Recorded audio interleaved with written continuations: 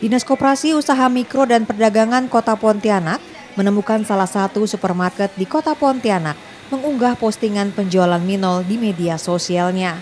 Terkait temuan itu, Dinas Koperasi Usaha Mikro dan Perdagangan Kota Pontianak telah menegur dan meminta manajemen supermarket menghapus postingan.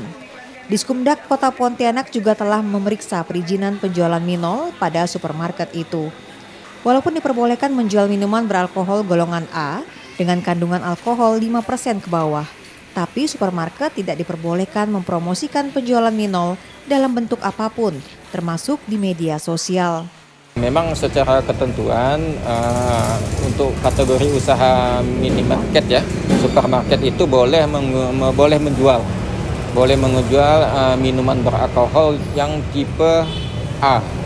Tipe A yang ya 5% ke bawah gitu kan tetapi tidak boleh mengiklankannya di media apa media sosial dengan bentuk apa pun mengiklankan itu tidak boleh nah itu kami sudah minta tadi untuk dihilangkan di apa di media sosialnya dihapus ya uh, iklan iklan uh, minuman beralkoholnya gitu. Diskumdak bersama tim pengawas pangan terpadu Kota Pontianak juga terus melakukan sidak rutin mengantisipasi potensi pelanggaran, rugikan atau membahayakan konsumen. Anugerah Kompas TV Pontianak, Kalimantan Barat.